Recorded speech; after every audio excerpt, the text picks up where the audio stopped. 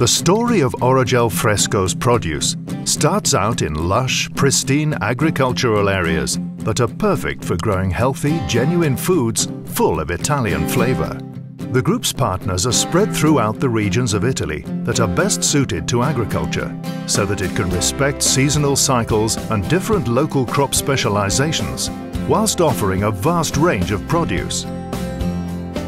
The path of quality developed by Orogel Fresco is followed throughout the supply chain, focusing on integrated and organic farming methods.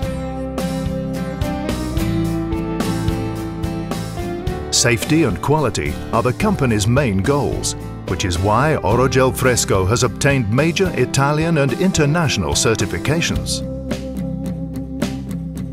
Orogel Fresco products are harvested at peak ripeness to preserve all their natural flavour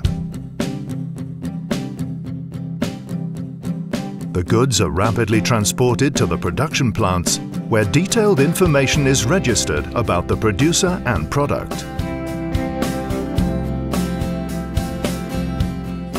The lots are then stored in refrigeration units where they are carefully divided according to product type, farming method and variety. Monitoring is carried out at every stage of the production process to ensure full traceability from the fields to the consumer's dinner table. They are processed under the watchful eyes of specialized personnel using sophisticated selection and calibration technology to safeguard product quality.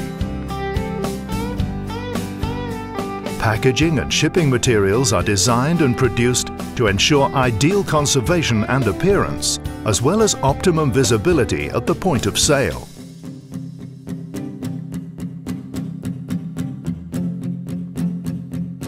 The inspected, packaged products then travel towards the primary channels of large-scale distribution in Italy and abroad, under the group's main brands.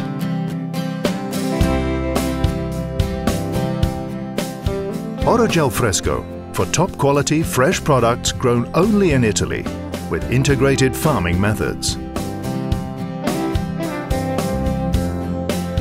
Fresco Gusto is a line of products harvested at peak ripeness, processed and packaged directly in the countryside with all the flavour, colour and fragrance of fresh-picked fruit and vegetables. The Solo Sole Bio label means you can count on the high quality of organically grown products.